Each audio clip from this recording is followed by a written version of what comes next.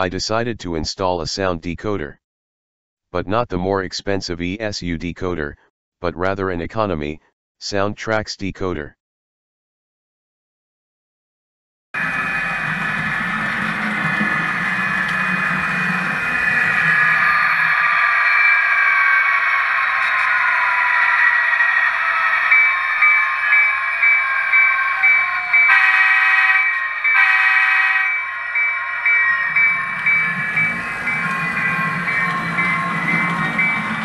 The prime mover sound almost drowns out the drivetrain noise. And it is nice to have the horn and bell. Thanks for watching.